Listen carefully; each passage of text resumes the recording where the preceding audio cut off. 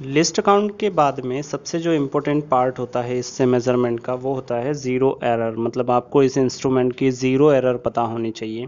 अब ये zero error क्या होती है? तो देखिए, यहाँ पे कितनी स्केल देखी हमने? दो स्केल देखी। ठीक है? एक यहाँ पे हम लोगों ने मेन स्केल देखी है और दूसरी यहाँ पे इस पार्ट में हमने देखी है वर्नियर स्केल ठीक है?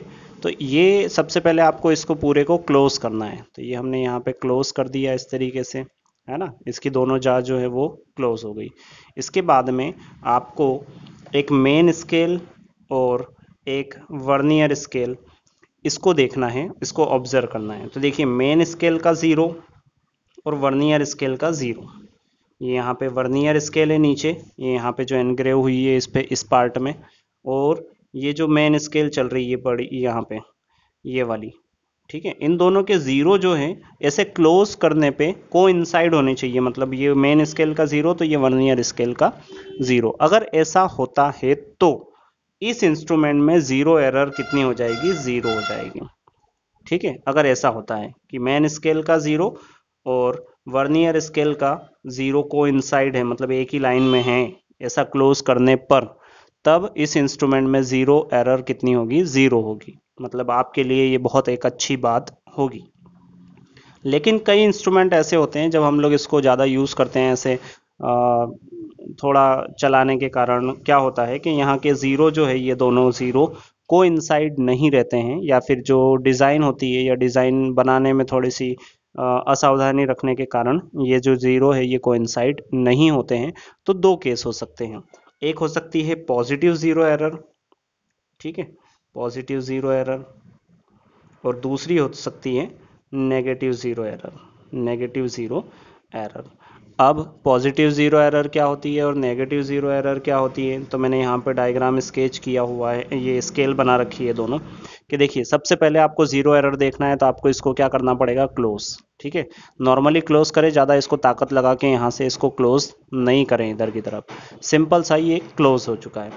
अब अगर क्लोज करने पे ऐसी सिचुएशन बने, कैसी सिचुएशन कि मेन स्केल का ज़ीरो और वर्नियर स्केल का ज़ीरो दोनों देखिए कोइंसाइड नहीं है। कोइंसाइड मतलब एक ही लाइन में नहीं आ रहे हैं क्लोज करने पे। तो या तो पॉजिटिव ज़ीरो एरर होगी या फिर नेगेटिव ज़ीरो एरर होगी। ये दो केस हैं, ठीक है? तो मान लीजिए कि ये ज़ीरो जो है मेन स्केल का पहले है और वर्नियर स्केल का ज़ीरो बाद में है, जब इसको क्लोज कर रहे हैं। तो इस केस में हमारे पास में पॉजिटिव ज़ीरो एरर होगी। पॉजिटिव ज़ीरो एरर होगी तो अब इसको कैसे फाइंड करेंगे, ये हमको पता होनी चाहिए कि कितनी है। तो देखिए यहाँ पे जो ये लाइन है, ये तो ज़ीरो वाली लाइन हो गई। यहाँ पे वन टू थ्री फोर तो इन वर्नियर स्केल वर्नियर स्केल की एक लाइन ऐसी होगी जो मेन स्केल की ऊपर वाली लाइन में से अलाइन होगी मतलब ऐसी सीध में होगी। ठीक है? और अगर आपको इसको देखना है तो आपको अपना इंस्ट्रूमेंट ऐसे रखना है और इस परपेंडिकुलर डायरेक्शन में देखना पड़ेगा। तभी आप सही से इसको ऑब्ज़र्व कर कर पाएँगे। मतलब यहाँ पे जो ये मेन स्केल वर्नियर स्केल है, इसमें से एक लाइन ऐसी ढूंढनी है जो ऊपर वाली जो मेन स्केल है यहाँ पे, उन मेन स्केल से अलाइन हो रही है, ठीक है?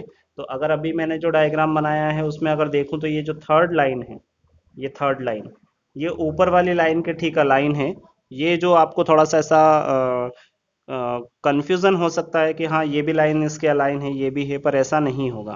ठीक है? तो अभी के डायग्राम के अकॉर्डिंग ये जो थर्ड लाइन थी वर्नियर स्केल की, वो मेन स्केल की एक लाइन कोई सी भी हो सकती है वो, है ना? उसके अलाइन है, ठीक सीध में है। तो कौन सी लाइन है ये? थर्ड लाइन है, ठीक है? थर्ड डिवीज़न है मतलब। तो इसको हम लोग मल्टीप्लाई कर दें, इसके लिस्ट काउंट से। तो कितना है लिस्ट काउंट 0.01 सेंटीमीटर तो हमारी जो पॉजिटिव ज़ीरो एरर है, वो कितनी होगी? 0.03 सेंटीमीटर। ये हमारी पॉजिटिव ज़ीरो एरर आई है, इसलिए आपको यहाँ पे प्लस मेंशन करना पड़ेगा, ठीक है? इसको कैसे करेक्ट करते हैं? क्योंकि इंस्ट्रूमेंट तो गलत रीडिंग दे रहा है। परफेक्ट रीडिंग कब आएगी? जब ये वाला केस हो मतलब कोई ज़ीरो एरर नहीं हो। पर ज़ीरो एरर है तो इसको हम लोग करेक्ट करेंगे लास्ट में, जब हम लोग इससे पूरा ऑब्जर्वेशन ले लेंगे। ठीक है?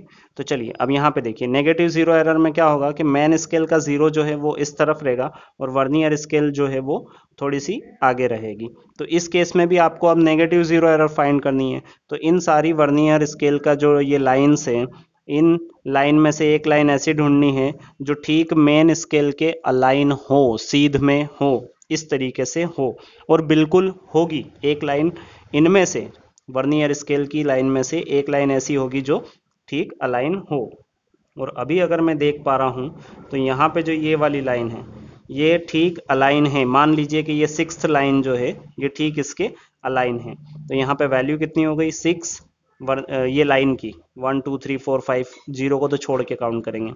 मल्टीप्लाई बाय इसका लिस्ट काउंट कितना है? Zero point zero one centimetre तो यहाँ पे हमारा जो आंसर आ रहा है, वो कितना आ रहा है? Zero point zero six centimetre ठीक है? मतलब यहाँ पे अगर क्योंकि ये नेगेटिव ज़ीरो एरर है तो यहाँ पे क्या मेंशन करना पड़ेगा आपको? नेगेटिव याद रखिएगा, या तो ज़ीरो एरर नहीं होगी और होगी तो पॉजिटिव ज़ीरो एरर होगी या फिर नेगेटिव ज़ीरो एरर होगी। दोनों नहीं होगी, है ना? या तो ये होगी या फिर ये होगी। दोनों में से कोई एक हो सकती है, दोनों नहीं होगी। तो इस तरीके से हमने ज़ीरो एरर हमारे इंस्ट्रूमेंट की फाइंड कर ली है। इसको हम लोग करेक्ट करते हैं लास्ट में, जब हम इससे ऑब्जर्वेशन पूरा कंप्लीट कर लेंगे। तो चलिए, जितना हम लोगों को इसके बारे में जानना था, हमने जान लिया। अब हम करेंगे हमारा एक्सपेरिमेंट शुरू। ऑब्जर्वेशन हम लोग स्टार्ट करते हैं। इसके लिए हमको ज़रूरत पड़ेगी ऑब्जर्वेशन टेबल की।